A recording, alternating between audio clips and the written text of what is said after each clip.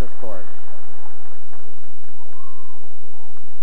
Rudi Cerne has been on the circuit for a long time. Way back in 1976, we saw him in Skate Canada for the first time when he finished 10th, and he moved up to finish 4th in the Olympics this year.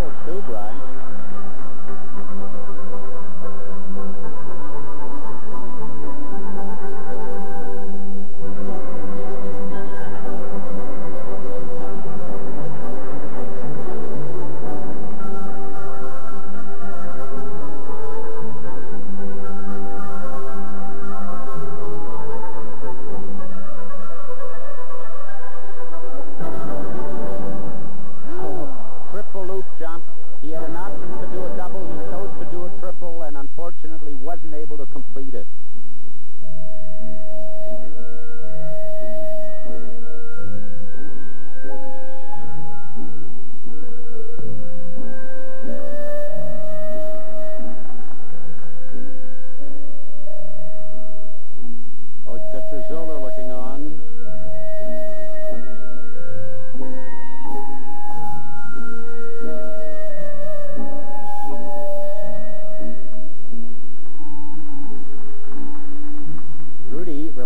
great deal.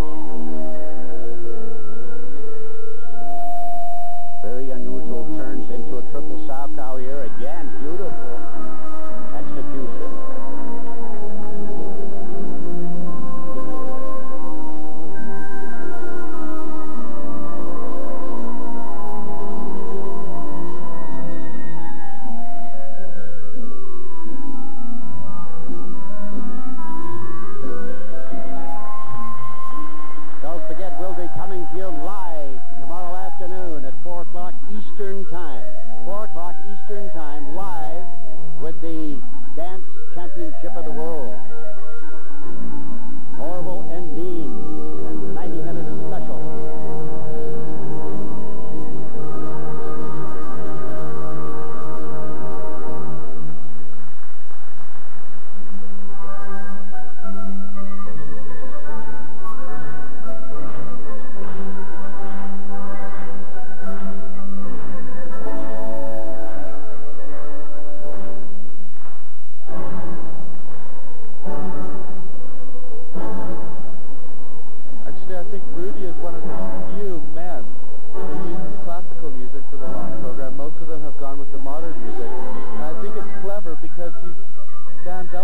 and his choreography is more noticeable because of the choice of music.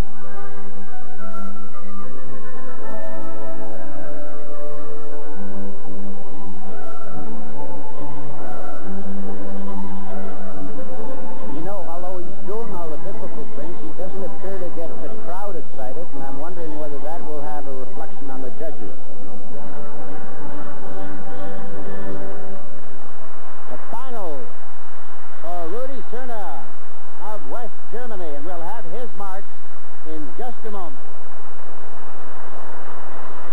Reflect that because for technical merit, he was in second place, but now he's looking at five sixes, a five five, five six, one five seven, a five five, and a five six. That cost him. Sure did, John, and I think those marks are indicative of the performance as we watch him go through one of his jumps, a triple toe loop, which he did very well. We pointed out during his performance, there were just too many flaws in the performance, and as a result, he was marked down. His second set of marks for artistic impression should be slightly higher. Yes, and they are too, with uh, two five sevens, five eight, three five sevens, two five eights, and a five seven.